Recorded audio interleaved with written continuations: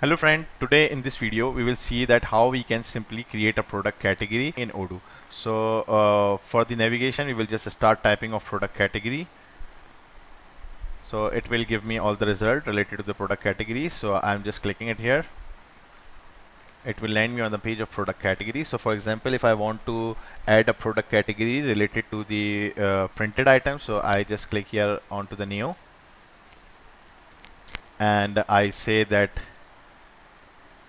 here we have uh, open up the category of printed item. And if this is the uh, child of any uh, category so I can select it here. So for example I'm taking it under the all. And now uh, I can select the routes if I want to use. So currently as we have not discussed how the routes work in Odoo and how we can create routes. So I'm just uh, skipping it here and we will see in our later videos now we have the costing method available. Here we can define either the standard costing method, first in, first out, average costing method. So I'm just taking it first in, first out.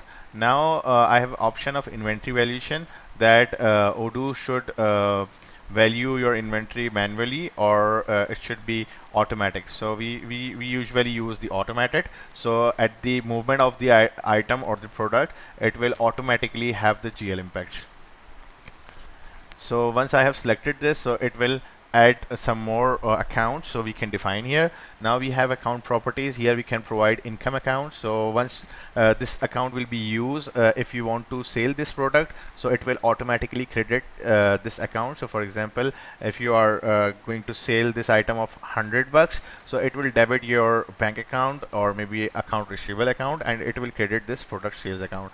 Now for example if you want to uh, sell this item and you want to manage the COGS account so here you will provide the COGS account in expense account.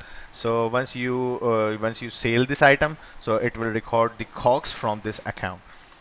Now we have this stock valuation account. Here uh, this account will be used when you will receive the inventory in your company. So it will basically debit this account and uh, the input account and in, uh, input account may be uh, the uh, accrued payable account. And then uh, here we have the stock output account. So once you will uh, deliver this item from your location so it will basically uh, debit this account and credit your stock valuation account.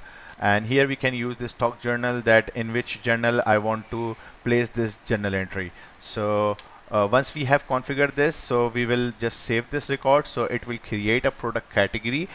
So stay tuned with us for more videos. Thank you